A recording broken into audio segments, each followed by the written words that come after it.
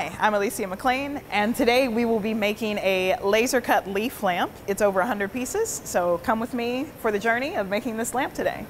I was looking for a 100 piece design, found it, and brought it in a FirstBuild to laser cut. Here is my file that I will be cutting today. It is an AI file, which is an Adobe Illustrator file. I'm gonna open up Adobe Illustrator, start a new file. I wanna make sure that it's 48 by 24 I'm going to create. So what I'm going to do is Control A and Control C all of this and then go over here to that file that I created, paste it here.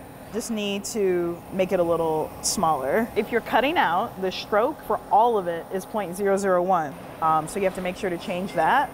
And then you also need to make sure that the color is a true red, which is 25500.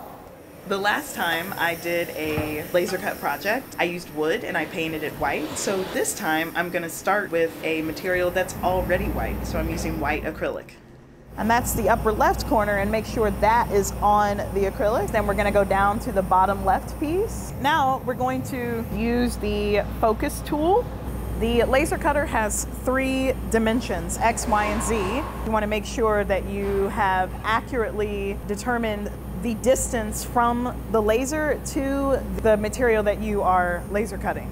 So those settings that we made in Adobe Illustrator, we need to communicate that with the laser cutting software. And what's great about FirstBuild is they have this handy dandy cheat sheet for what the settings should be. On the power, we're going to put in 100%, 4% speed, 1000 PPI. And now we are going to press the big green button and hope for the best. If you would like to know how long your job is going to take, you can go over here to estimate view and it will tell you that's going to take 41 minutes to uh, laser cut this whole piece.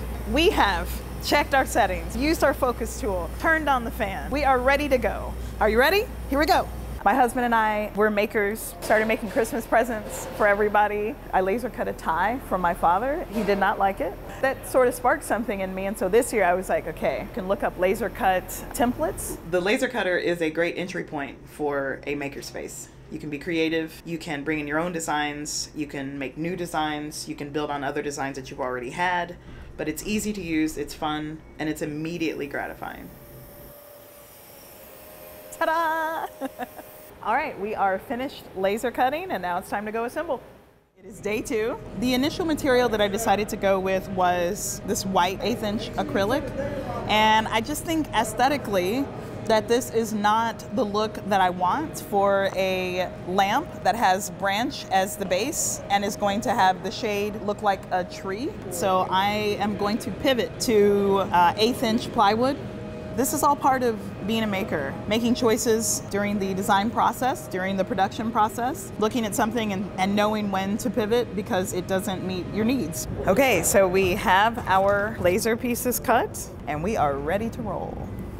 What I love about this project is a lot of times we think of the laser cutter as something that we use to cut things in two dimensions. But what's cool is that we've done some cutting in two dimensions in order to make a three-dimensional object. What's great about using a laser cutter for that is that it's so precise. The precision is so tight. Every piece fits perfectly into, um, into its correct location. That is a precision that I would say, especially with the curves and the tiny little parts right here, that only a laser cutter can provide. So, so we are about to finish our assembly of the lamp. We have this 3200 Kelvin vintage bulb, which will give us a nice warm light, which will be perfect for our warm and nature inspired leaf lamp. Let's put this on here and build it as we go. We are now ready to put the leaves on. We have the branches, if you will. I've sorted them by size. We'll be starting with the smallest one and uh, larger ones. So here we go.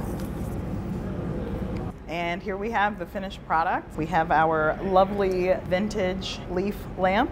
We have been enlightened.